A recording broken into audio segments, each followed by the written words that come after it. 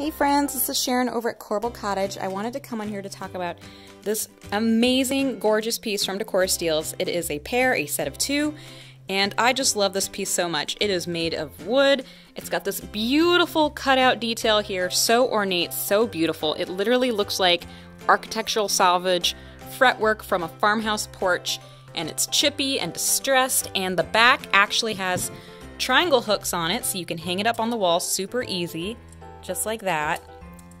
Um, but this piece is so big and so gorgeous that I actually love having it on display in front of my fireplace, like a fireplace screen. If you like this video, remember to hit that like button so more people like you will see these videos. Be sure to subscribe and hit that bell notification so you don't miss out on any future videos.